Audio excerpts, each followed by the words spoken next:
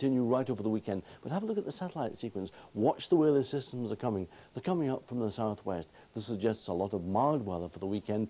It suggests for sport muddy, windy conditions rather than anything else. There'll be some rain and drizzle about at times as well. That's the weather chart now. There's actually a blast of cold and very windy air coming in towards Scotland at the moment. This little kink in the isobars there.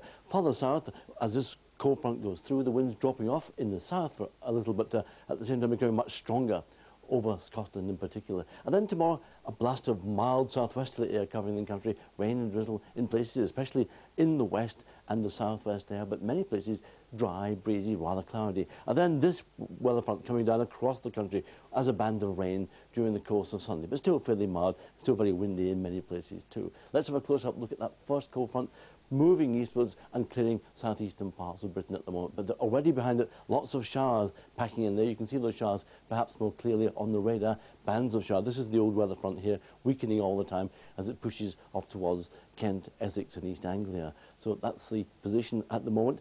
And I must warn you about these very strong winds later today and tonight in Scotland.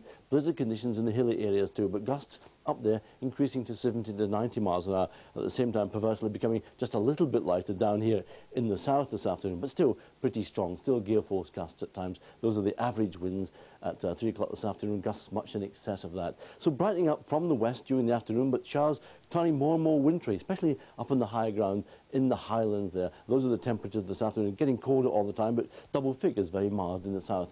And blizzards over the hilly districts again tonight, drizzle in southern and western parts of Britain, some rain too. Mild in the south, perhaps a touch of ground frost in the far northeast. Then a mild windy day tomorrow, and then on Sunday, that band of rain gradually coming southwards across the country, followed by bright spells and